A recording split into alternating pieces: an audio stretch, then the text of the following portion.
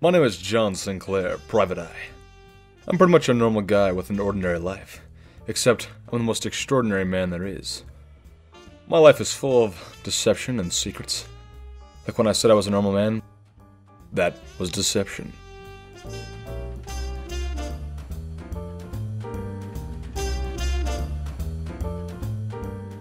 I could sense trouble coming. I heard a knock at the door and instantly put on my poker face.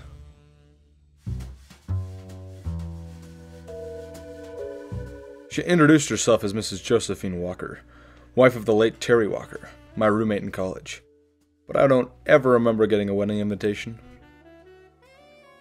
I had met with Terry previously that week. He had something important to deliver, and he didn't want to get into the wrong hands. To protect myself, I wore one of my many disguises. He was in danger. The Mafia had placed a hit on him. I imagine they were after the very same item he was entrusting me with.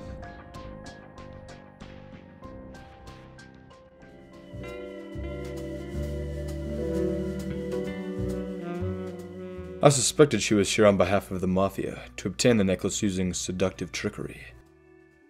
If not, then why would she be showing so much leg?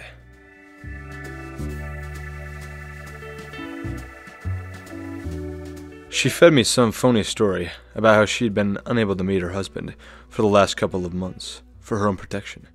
Side note, she's totally coming on to me. I wasn't buying the whole innocent, my husband just died baloney. She was here for two things, and two things only.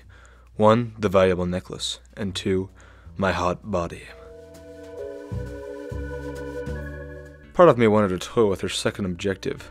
After all, she was gorgeous, and my neighbor Olga just wasn't cutting it lately. Then she finally got to it. She asked about the silver necklace.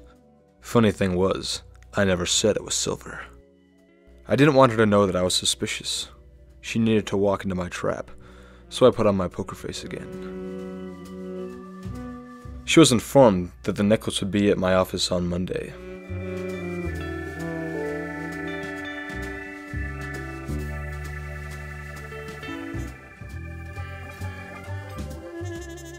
The day came, and my ingenious plan was set into motion. Mrs. Josephine arrived at my office, overzealous at the sight of the necklace that she claimed to be hers.